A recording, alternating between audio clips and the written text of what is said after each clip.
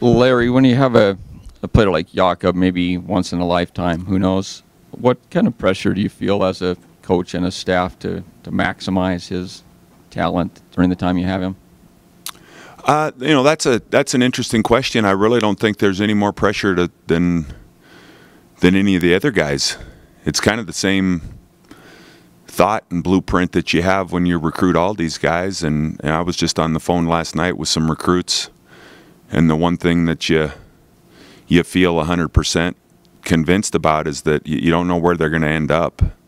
But you know that they're I'd like to promise them that I think they can reach their potential. You know we'll squeeze as much out of them as we can and we'll address their weaknesses and um, you know have some big boy conversations with them and not always tell them everything that they want to hear. But but uh, you know not have any regrets when the process is over whether that's partway through a college career or at the end of a fifth year senior whatever the situation might be so um, yeah it's a great question but it it really is is no different than anybody else. You want to you want to just maximize your your opportunities and and like we always talk about, you don't want to have any regrets. You know, you don't want to be sitting when you're an old man looking back at it, wishing you would have done something else or you would have done a little bit more, or pushed him a little harder. Or uh, and I think Jakob's an example of a guy that's probably taken five or six things that we told him about this summer that he was going to have to improve on and has faced them head on and, and done a pretty nice job.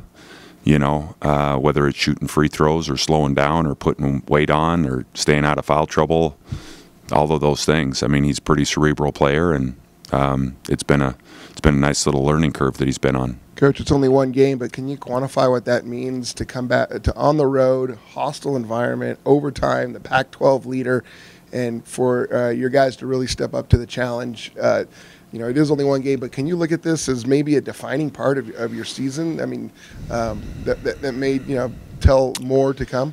Well, you, you know, each of the 18 games kind of tells a different story, and and um, I don't think there's a whole whole lot to it. I've said I said after our Oregon game, and I, I've used the saying a lot with our team, and I think a lot of it comes from NBA experience because you you play so many games is that it's you know it's not necessarily about any one game.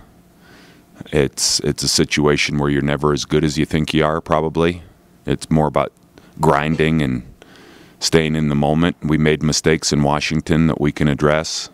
Try not to make those mistakes again. But it's you know the Oregon game we felt pretty bad in the locker room, uh, but it wasn't time to to jump out of the ship and call it quits. And I said, we're not as bad as we think we are right now.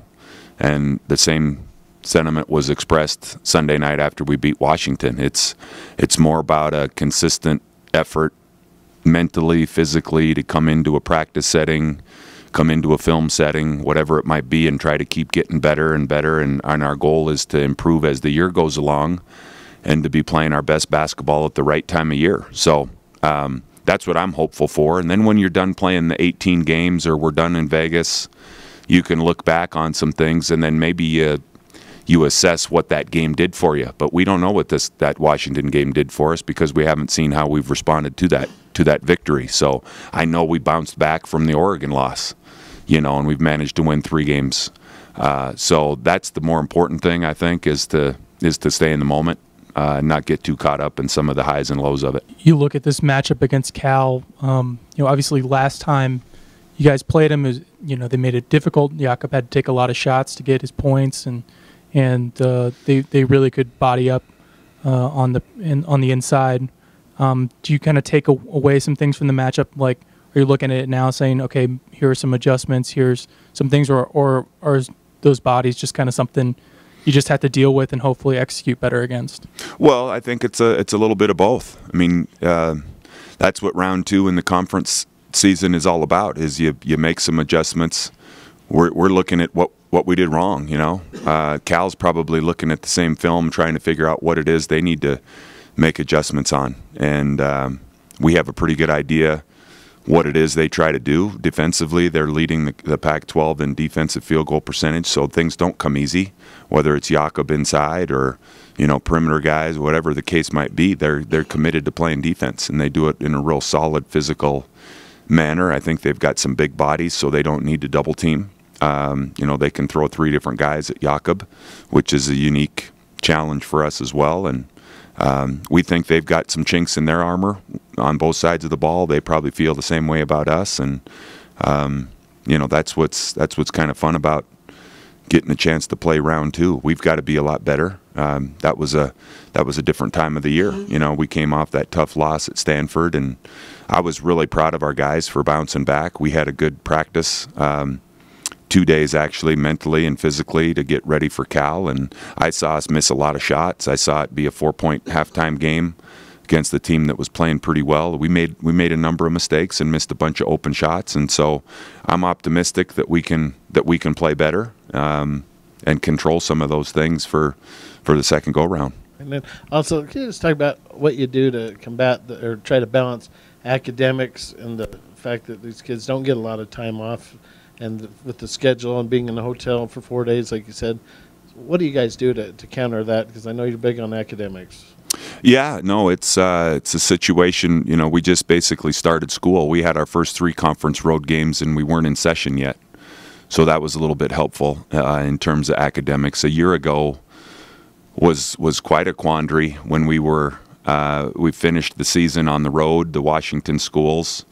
We were gone for four nights. We came home. We were gone for four or five nights to Vegas, and then we were gone to Portland, and then we were gone to Houston. And um, we didn't exactly finish strong. You know, that's really hard in and around that spring break. You've always got exams either pr- right prior to the spring break or right after spring break, as teachers always set them up. And um, you know, we took a lot of tutors, took tutoring and mentoring with us on the road, and we did the best that we could. But at the end of the day, to be away and have, um, you know, it's a pretty important time basketball wise.